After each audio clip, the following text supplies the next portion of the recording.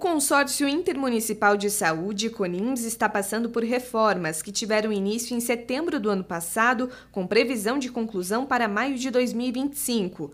Até o dia 21 de outubro, os profissionais que trabalham na unidade continuavam a oferecer atendimento normalmente. No entanto, devido ao cronograma das obras, alguns atendimentos estão sendo realocados.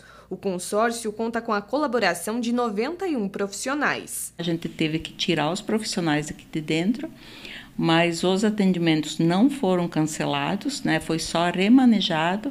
Os profissionais que atendiam aqui dentro é, viabilizaram nos consultórios próprios, é, alocaram alguns espaços e estão atendendo, né?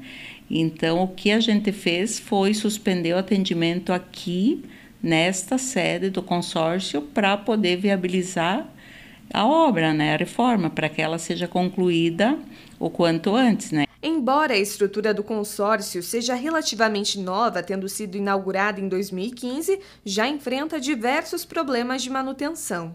Problemas relacionados à estrutura e aí a gente teve que começar trocando toda a cobertura e estamos indo, né?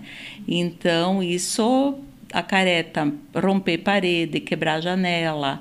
É, é uma obra, assim, uma reforma bem complicada, porque é um prédio bem grande, né?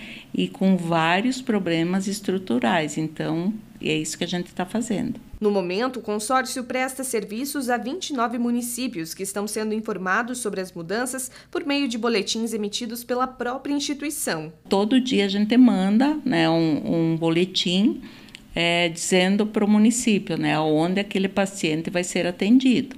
Porque geralmente, não é o caso de Pato Branco, né, mas os demais municípios, eles trazem os pacientes até o consórcio. Então, a gente manda essa planilha para os gestores, né, para a Secretaria de Saúde, encaminha também para os motoristas, né, que farão esse, esse transporte, para tentar evitar. Se tem algum profissional que cancelou e o paciente está agendado para vir, então já vê ali na planilha, opa, então não vou para Pato Branco, né? Porque o que, que acontece? Como essas agendas estavam todas já preenchidas, para mudar o endereço eu teria que cancelar todo mundo, mudar endereço e aí agendar novamente. Então nós achamos melhor fazer a troca sem cancelar, porque se a gente cancelasse ia dar mais transtorno ainda para o paciente, né?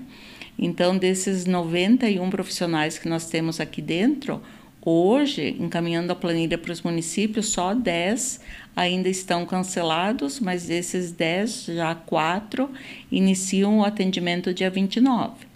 Então, assim, foi a maneira de ter menos impacto negativo para essa população.